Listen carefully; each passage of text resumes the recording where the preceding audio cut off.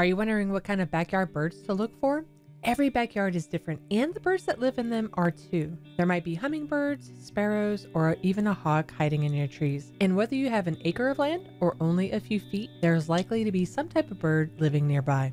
And in this video, we'll cover nine common backyard birds to look for. Hey there, I'm Christina with Backyardscape, where we share tips and ideas to make your backyard your favorite hangout spot. So make sure you subscribe so you get all the latest videos. Number one is the house sparrow. House sparrows are very common in most backyards, especially in areas with greater concentrations of people. They hop instead of walk and they're very social. If you have a feeder in your backyard, then they will likely be the most frequent visitors. And they also love baths, so if you're looking to attract them, you can add a bird bath to your backyard.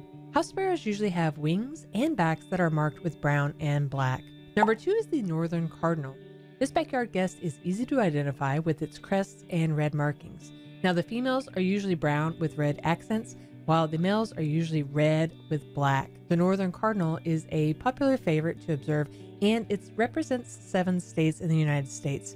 Now, these birds make distinctive chirps and whistles, and they're usually first birds that you'll hear in the morning. They are highly territorial during breeding seasons, and they've been known to attack even their own reflection on sight. Number three is the mourning dove. One of the most common birds to observe anywhere on the continent is the mourning dove, and you'll hear beautiful soundtracks on any occasion. They have a rhythmic sound to their melodies that make them easily identifiable even before you go see them.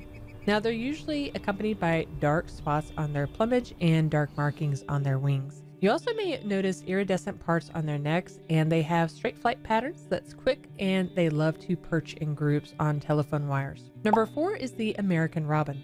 This bird can be easily identified with its red and orange breast coloring and dark gray wings. You usually find them at the end of winter and they can easily be recognizable with their tune of their song. The American robin is a frequent guest in the backyard everywhere, and you might even notice it hopping around or running to find food. The American robin loves water features and water baths, so if you're looking to attract some, also make sure you add a bath to your backyard. Now, despite becoming more active in the spring, the American robin is present year round, but in a more sheltered way during the winter times. You may still spot one in the colder weather and you should keep an eye out for it. Number five is the European starling. The European starling is also known as a common starling and it was introduced into the United States in the late 19th century. Since then, it's become a real common bird in most of the backyards across the United States. Now, you'll be able to identify the starling by its short tail, glossy black plumage, and long pointed yellow beak.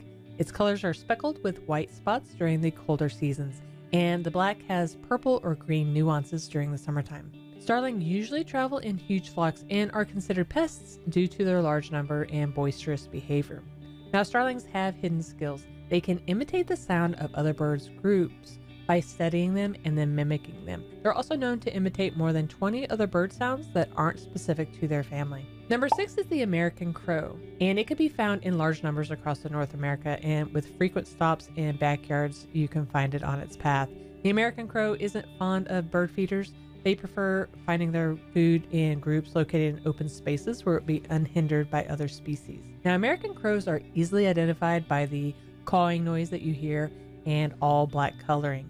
Their wings might have purple or blue or green nuances, and they can frequently be found congregating in large numbers.